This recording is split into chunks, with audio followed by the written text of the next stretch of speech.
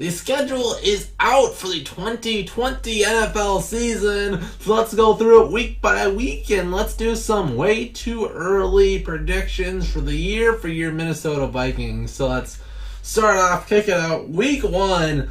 And we start out with one of the biggest games of the year. The Packers are coming to town, and this one's going to be crazy. It might be have division implications right off the bat. It's to be a wild one, and I think uh, it's gonna be, it's gonna be a tough way to start the year with all of our young corners against Aaron Rodgers, and I don't think we have a great neutralizer for Davante Adams. So week one, I'll give it to the division champs, and the Vikings start out 0 and one. Week two.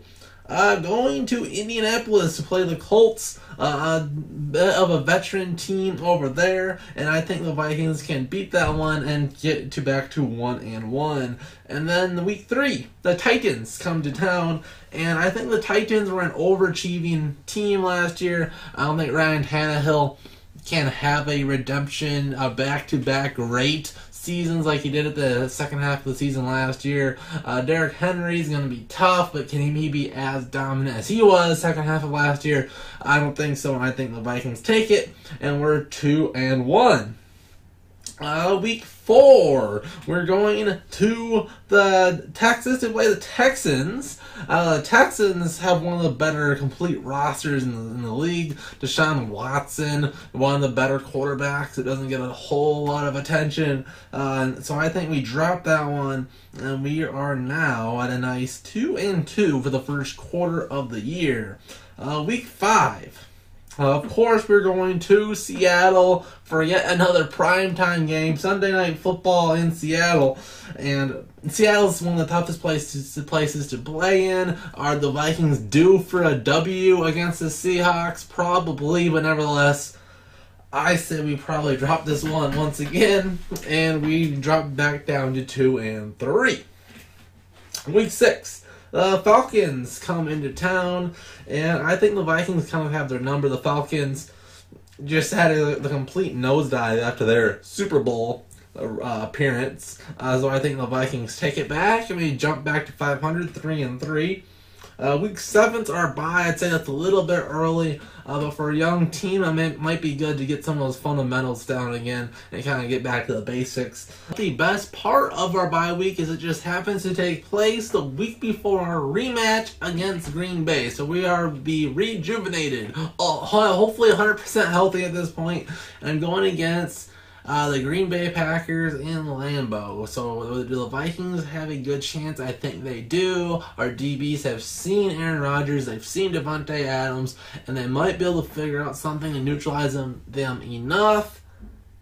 But I don't think it will be quite enough. If this was at home, I think the Vikings could take it. But in Green Bay, I see the Vikings uh, losing and dropping a game below 500 and being at 3 and 4. Uh, but good news, we're going back home to play the Lions. The Lions are definitely a sleeper team in the NFC North, with Matt Stafford coming back, being one of the most underrated quarterbacks in the league. But I don't think that's quite enough for the Lions to beat the Vikings, and we move back to 504 and 4. And then we're going to our least favorite field to play on, uh, Soldier Field and our least favorite time, Monday Night Football. This one could be a disaster, or both things could cancel out and the Vikings beat the Bears 35 7.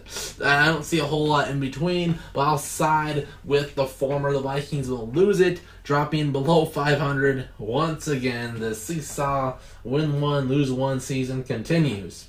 Week 11. We are, we are back home uh, against the Cowboys, and the Cowboys are just so loaded uh, with weapons on the offensive side of the ball. Uh, this one might turn into a shootout, and that's the best way the Vikings could win.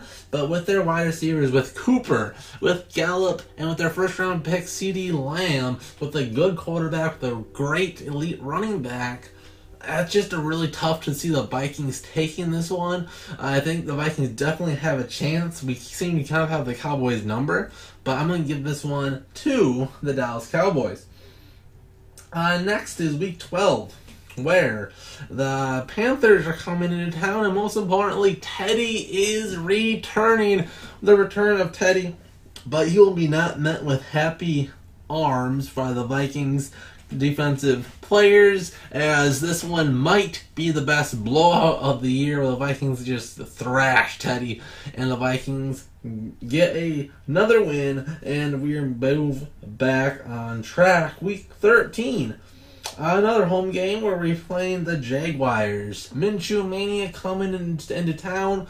It'll be get a lot of hype, but I don't think the Jaguars are all that scary, and the Vikings take this one as well.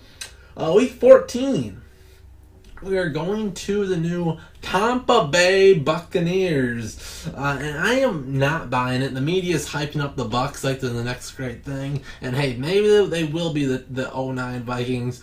But as of right now, I'm not exactly buying into it, and I think the Vikings can go into Tampa Bay and beat the Bucks. Uh, week 15, home against the Bears. This one's gonna be a little bit more interesting the Bears have just had our number the last two years. And I believe we were like 0 4 in our last four uh, games against them. But I think this is one where we finally take it back and get a W against the Bears. It's, it might be a, just a boring slugfest of a game, like a 9 to 3 or something type game. But I do, do think the Vikings can beat the Bears. And with our better offensive tackles, hopefully we can contain Khalil Mack enough and the rest of the interior other defensive line. And I think the Vikings can bring it home. Week 16, Christmas Day, 3:30 game against the Saints in New Orleans. And you just know this is going to be a crazy game. Every single time the Vikings play the Saints, it's nose or it's a nail biter, games on the line, maybe overtime, a game winning play last seconds. The last three playoff games have been insane. You have the bounty game went overtime, the miracle game, last play of the game, of course, and then what happened last year where we walked off in overtime instead. So, what an incredible type of game the Vikings have played when it's against the Saints. So I think the one's going to be crazy.